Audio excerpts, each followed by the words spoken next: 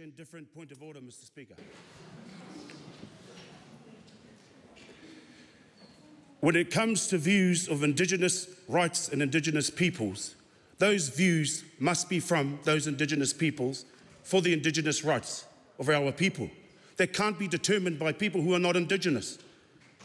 So what I'm asking Ehikama to this House, tēnā koe te pirimia, is that if we find this, eh, this attitude acceptable in this House, the constant barrage of insults to tangata whenua, then I find this House in disrepute.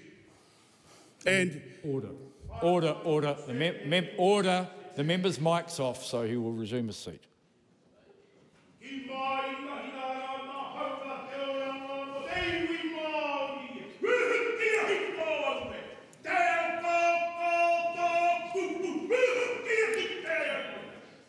Order. The member will now leave the chamber.